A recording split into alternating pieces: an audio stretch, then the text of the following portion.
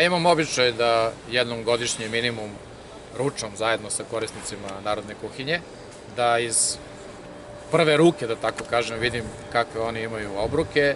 I sad smo imali, kao što ste videli, grašak sa pirinčem, nije bilo to nikakvog specijalnog menija, porazgovarao sam sa korisnicima Narodne kuhinje.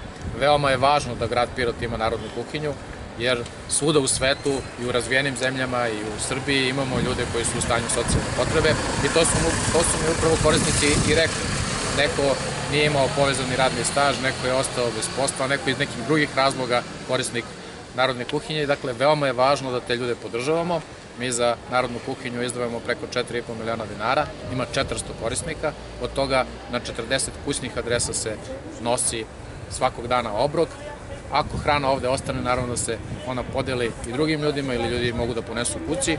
Pored toga, negde oko 8,5 miliona dinara izdvojamo za Centar za socijalni rad, za Crveni krst, izvinjavam se, a za Centar za socijalni rad i za materijalne pomoći preko 19 miliona dinara. Sve ukupno preko 95 miliona dinara grad Piro daje za razne vrste socijalne pomoći i kažem ponovo, ljudi postoje, u stanju socijalne potrebe postoje, a mi smo tu da ni jedan čovjek u Pirotu ne ostane ni gladan, ni bost, ni žedan i ono što je veoma bitno, broj se smanjuje. Dobio sam podatke da smo negde 2011. godine imali hiljadu ljudi koji su bili u stanju socijalne potrebe i korisnici e, narodne kuhinje, posle to smanjivalo na 800, pa na 600, sada je negde oko 400. To znači da se standard povećava. To je veoma dobra informacija. Dakle, sigurno ćemo u budžetu za 2024. godinu negde 30% izdvojiti više sredstava, a to znači da će biti na meniju češće mesa i to su mi upravo ljudi skrenuli pažnje. Dogovorili smo se da već od 1. novembra uvedu to, taj meni o kojem smo razgovarali. Pored toga, naravno, dobili smo informacije da ljudi mogu da dobiju i pomoć u paketima hrane, u odeći ako je to, bilo, ako je to nužno i potrebno.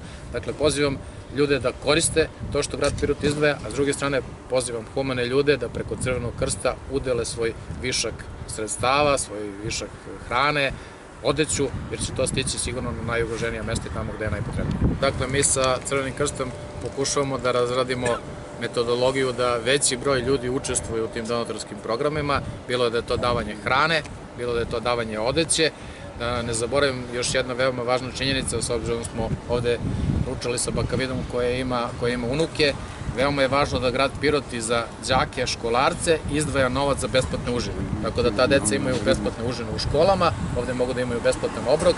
Dakle, ponavljam, znamo da ima problema sa, i da ima određeni broj ljudi koji su u stanju socijalne potrebe i mi jednostavno moramo da reagujemo jer je to naša humanitarna dužnost.